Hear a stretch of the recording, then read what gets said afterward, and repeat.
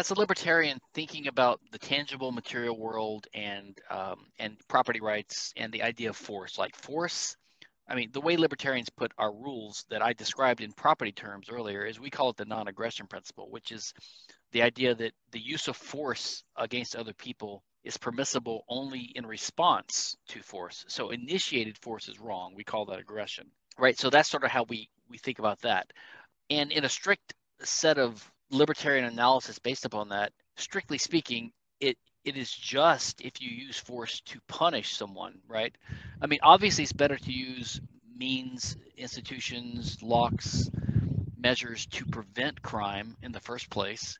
Um, so that would be the, the most optimal way to deal with, with crime is to prevent it. But once it's happened, justice has to come into play. We have to decide what are we entitled to do now.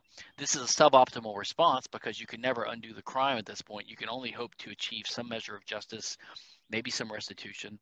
So theoretically, you could punish people, which means you could theoretically even execute people that have done a severe enough crime. But I do believe that those types of systems are very undesirable and unlikely in a free society for a number of reasons. Number one, having a punitive or retribu- retributive based system just doesn't do very much because it's after the fact. And what does it do? It doesn't really rehabilitate the criminal. It doesn't really give you restitution back. It might give you some measure of retribution, like it might give you some some pleasure in knowing that the guy that hurt you is being hurt himself.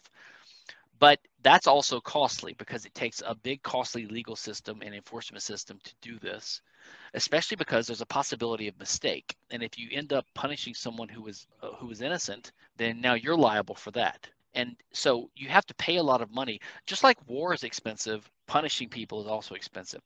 So I think that in a free society, we would tend to gravitate towards a restitution based system, not because it violates the rights of an actual criminal to be punished. I do think that it doesn't violate their rights. So I think it's just for the victim of a, of a violent crime to use to use proportionate force to harm the guy. And then you could use that that threat or that right to use force to bargain with him for some kind of monetary payment. So you could use it to extract restitution.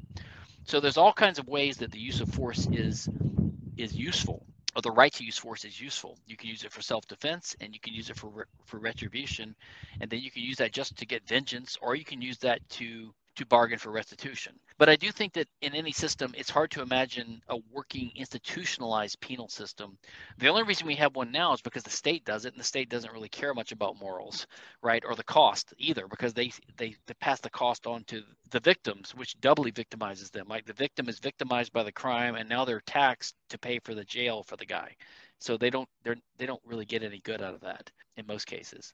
So I think that we would tend to have a restitution based system